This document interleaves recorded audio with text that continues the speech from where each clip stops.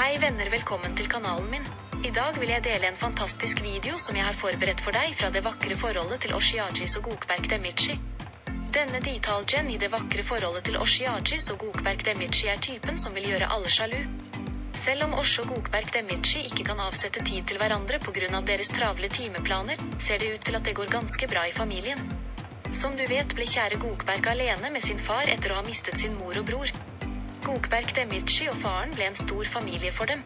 Gokberg Demichi delte nylig et bilde av ham med sin far på sosiale medier, og min far delte notatet hans. Osh Yajis mor, Filis Yajis, var blant dem som likte bildet.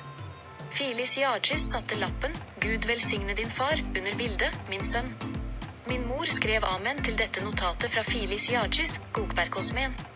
Som man kan se, er Gokberg Demichi og Shiajis sitt forhold til familien så sterkt at Gokberg allerede har klart å kalle Filis Yajis min mor.